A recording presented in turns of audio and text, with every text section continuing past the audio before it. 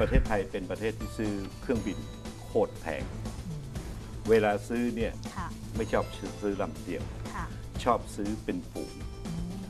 แล้วเวลาขายขายลำเดียวไม่ได้ด้วยค่ะเพราะว่าขป็เดี๋ยวถุงมันมัน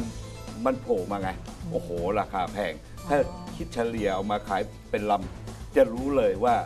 มันโกงกันดีกว่าอ๋อ ถ้าขายลำเดียวเนี่ยราคามันจะชัดเจนมันจะต่อโผล่ลมาำเอออ่าเพราะงั้นเนี่ยมันก็เลยขายก็พยายามจะขายเป็นฝูงค่ะ หรือไม่ก็ทำวิธีแลกเปลี่ยนเอาเครื่องบินนี้ค่ะไปขายในราคาถูกเป็นฝูงแล้วเอามาทั้งฝูงค่ะมันจะเป็นลักษณะนี้แทบตลอดนะค่ะเครื่องยนต์เนี่ยเป็นค่ะส่วนประกอบหนึ่งค่ะบางครั้งเนี่ยเขาซื้อ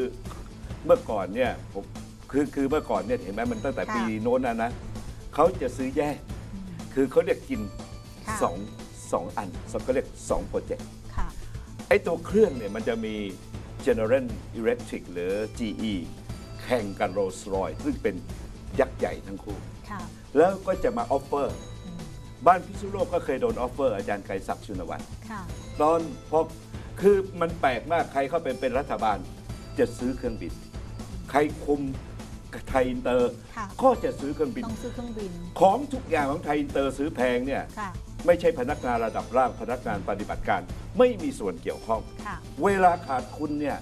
จะมาปลดพนักงานระดับกลางระดับล่างหมดใช่แต่พวกที่กินกันเนี่ยมันอยู่ระดับบน ค่ะ ยันไปจนถึงการเมือง